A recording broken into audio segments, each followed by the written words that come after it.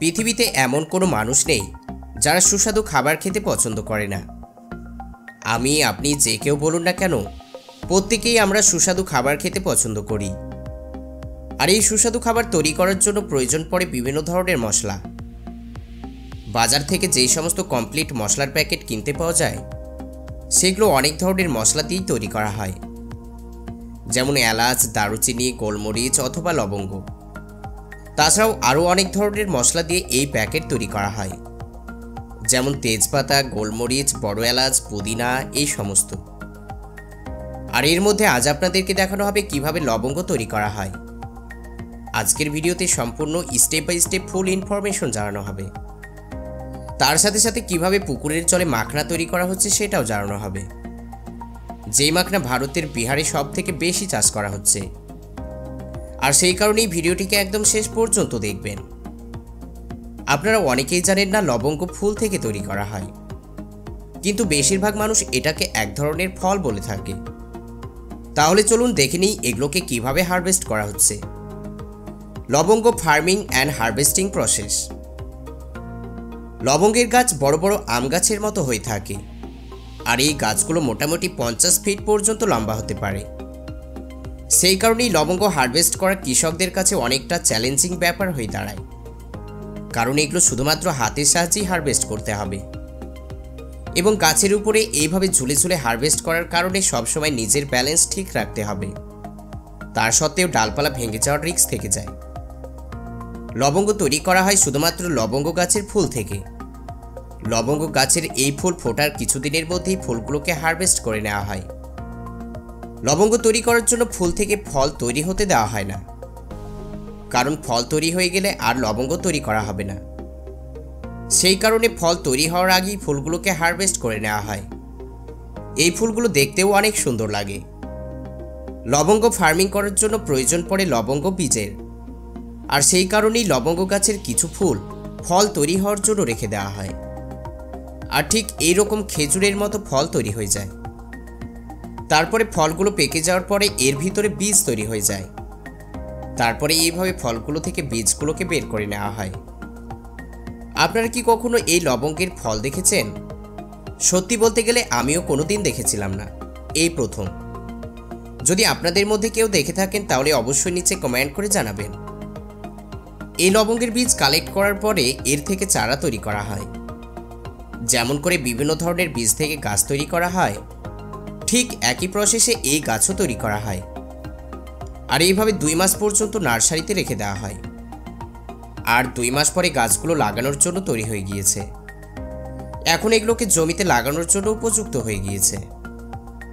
লবঙ্গ যে কোনো জায়গায় চাষ করতে পারবেন। শুধুমাত্র টেম্পারেচারের দিকে খেয়াল রাখতে হবে। নয় থেকে চল্লিশ ডিগ্রি সেলসিয়াস পর্যন্ত যে কোনো জায়গায় লবঙ্গ ফার্মিং করতে পারবেন। তাছাড়াও বালি, মাটি, পাহাড়ি যে কোনো জায়গায় লবঙ্গ ফার্মিং করতে পারবেন। লবঙ্গ গাছ লাগানোর পরে খুব বেশি পরিচর্যা করতে হয় না বললেই চলে। আর এই লবঙ্গের গাছ জুন থেকে জুলাই মাসের দিকে লাগানো হয়। এই গাছগুলো সব থেকে ভালো হয় নরম মাটির জায়গায়। তাই বলে জল জমে থাকে সেই রকম জায়গায় লাগাবেন না। গাছ লাগানোর পরে মোটামুটি পাঁচ থেকে ছয় বছর পরে ফুল ফুটতে শুরু করে। আর সেই কারণেই এই লবঙ্গ এতটা এক্সপেন্সিভ হয়ে থাকে। কারণ পাঁচ থেকে ছয় বছর পরে ফার্স্ট টাইম লবঙ্গ হারভেস্ট করা হয়। ছয় বছরের পর থেকে লাগাতার একশো বছর পর্যন্ত ফল ফুল দিতে পারে। এবং দশ থেকে পঁয়ত্রিশ বছর বয়সের দিকে সব থেকে বেশি ফল ফুল তৈরি হয়। এই লবঙ্গ সব থেকে বেশি ফার্মিং করা হয় কেরল এবং কর্ণাটকের দিকে। আর এখান থেকেই পৃথিবীর বিভিন্ন দেশে এক্সপোর্ট করে থাকে। ফুল ফোটার কয়েকদিন পরেই ফুলগুলোকে হারভেস্ট করে নেওয়া হয়। আর এইভাবে বিশাল বিশাল গাছের উপর থেকে স্কিল ওয়ার্কাররা ফুলগুলোকে হারভেস্ট করে নিয়ে আসে। ফুলগুলোকে নিয়ে আসার পর কয়েকজন ওয়ার্কার হাতের সাহায্যে পরিষ্কার করে দেয়। আর এর মধ্যে থেকে আনওয়ান্টেড পার্টসগুলো আলাদা করে ফেলা হয়। লবঙ্গের অনেক রকমের কোয়ালিটি হয়ে থাকে। আর সেই কোয়ালিটিগুলো ফুলের সময় অনুযায়ী ভাগ করা হয়। এই সমস্ত কাজ কমপ্লিট হয়ে গেলে সময় আসে এগুলোকে শোকানোর। তার জন্য এইভাবে সূর্যের আলোতে শোকানো হয়। এবং কয়েকদিন পর্যন্ত শোকানো হয়। সমস্ত কাজ কমপ্লিট হয়ে গেলে সময় আসে শর্টিং করার। কারণ এর সঙ্গে অনেক রকমের নোংরা আবর্জনা থেকে যায় এবং শুকনো ডালপালাও থেকে যায়। যেগুলো পরিষ্কার করা অত্যন্ত জরুরি। সেই কারণে ফার্মে নিয়ে এসে পরিষ্কার করে নেওয়া হয়। তার সাথে সাথে দুই থেকে তিন রকমের কোয়ালিটিতে ভাগ করে নেওয়া হয়। কারণ মার্কেটে এর দাম কোয়ালিটি অনুযায়ী কম বেশি হয়ে থাকে। এই লবঙ্গ ভালো কোয়ালিটির হলে মোটামুটি দুই থেকে তিন হাজার টাকা কিলো পর্যন্ত বিক্রি হয়। আর যেগুলো মিডিয়াম হয়, সেগুলো সাতশো থেকে আটশো টাকা কিলো। তার থেকে একটু কম ছয় থেকে সাতশোর মধ্যে। তাই বলে ছশো টাকা কিলোর কমে কোনো লবঙ্গ পাওয়া যাবে না। আর এইভাবেই মার্কেটে লবঙ্গ চলে আসে। কিন্তু যারা লবঙ্গের ব্যবসা করে, তারা সবসময় কোল্ড স্টোরেজে স্টোর করে রাখে। কারণ যদি টেম্পারেচার মেনটেন না করে, তাহলে এর ওজন কমে যাবে। এবং ভারী অ্যামাউন্টের লোসকান হবে। এই লবঙ্গ বিভিন্ন কাজে ব্যবহার করা হয়। যেমন লবঙ্গ থেকে তেল তৈরি করা হয়, আর এই তেল ঔষধ হিসেবে কাজ করে। লবঙ্গের তেল দাঁতের ব্যথার ঔষধি হিসেবে সুন্দর কাজ করে।